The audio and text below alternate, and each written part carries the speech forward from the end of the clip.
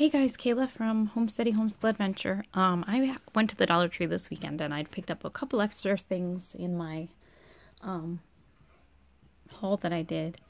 And these are specific for um, prepping. And it's only just a couple of things. Um, I'm going to do an entire Dollar Tree prepping haul um, in the future very soon. But I went to get the girls to let the girls pick out a like a couple dollars worth of little toys and gifts that they had um, earned. And um, then in, while I was there, I picked out a couple things that I just wanted to uh, quickly wrap. So there are some things that are great deals at Dollar Tree, and there are some things that aren't necessarily great deals at Dollar Tree. Um, for example, certain canned foods like vegetables and fruits, you can generally find them um, cheaper at your grocery store, Walmart, Target. Other places have um, better deals than you would find for a whole dollar for a can.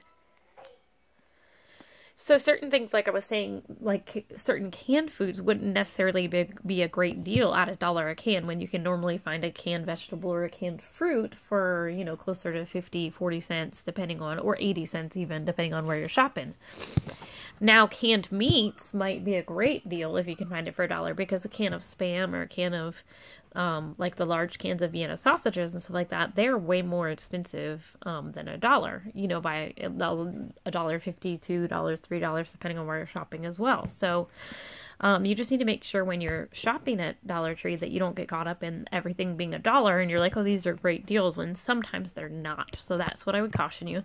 Anyway, just a couple things I grabbed. Let's take a look. I grabbed several um, Sharpie markers because we all know Sharpie markers, even individuals, are more than a dollar in most cases. Um, I think that was all. Yeah, I grabbed a couple Sharpie markers, a couple fine tip, and a couple really, really skinny ultra fine tip ones. They're good for um, labeling uh, some of your food preps or writing expiration dates or just in general it's good to have sharpies. So I got three. You know a dollar a piece? That's probably less than what I would pay for one in another store. So thought that was a great deal and a great prep. I got a couple things of crazy glue because super glue is something that might be useful. Um, in different emergency situations and also just to have around. So I grabbed those. A dollar a piece is a good deal on that. And they're the Krazy Glue brand. And then last but not least, and like I said, this is a very small haul. I'm going to be getting others. I just grabbed different types of batteries. Um, I've heard different prepper channels say that these might be good bartering um, items, these kinds of things, especially the batteries in um you know a end times rough situation kind of thing and just to have for yourself being a dollar a piece they're way cheaper than what you'd you'd um be spending them on them if you bought them from another store so i got a couple of these and i'm just gonna throw these into my prep container and uh keep keep adding to it every time I go shopping, you know. And that's my way of doing it is just little by little as I go shopping. I just pick up a few extra things um, in my regular grocery shopping or in my regular Dollar Tree shopping, whatever I'm going to be doing. I just add a few little things here and there. So I also found a snake bite kit that I didn't know I even had when we were searching through some boxes we hadn't unpacked yet. So um, another little tip is just when you do find all your stuff, keeping it very organized and putting it together so you don't forget that you have it is very, very useful too. So I'm working on getting um, storage containers and starting to put like non-food items, food items, the different ones, medical items in another, that sort of thing. All right, guys, if you liked this, it's a very short, sweet um, little haul, but I, I was pretty pleased with the things I got um, for like eight bucks. I thought it was some pretty good items. So I'll um, keep you updated when I go do my bigger haul. Um, and I'm going to also be getting ready to assemble um, purchase things for and assemble bug out bags. Um, probably going to do that little by little as as well, maybe one bag at a time until we have one for our entire family, that kind of thing. So that would be my encouragement to you. I look at all these people that have their amazing prep um, tour videos and I see all the things that they've been saving up for all these years.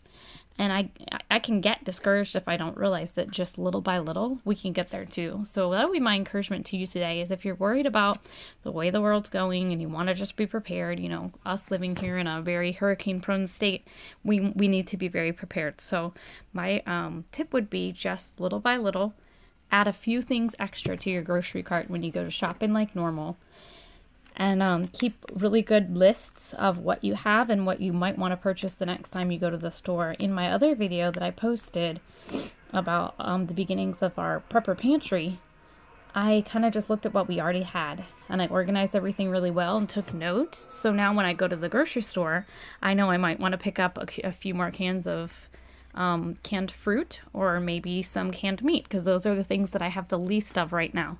So it just gives you um, an organized way to know what you have and what you need going forward. And then just doing it little by little, it adds up so fast. Like $8 last week. Next time I go shopping, I'm going to get grab a some bottles of water and a few canned foods and then little by little we're going to get ourselves in pretty good shape. Just do what you can and don't break the bank.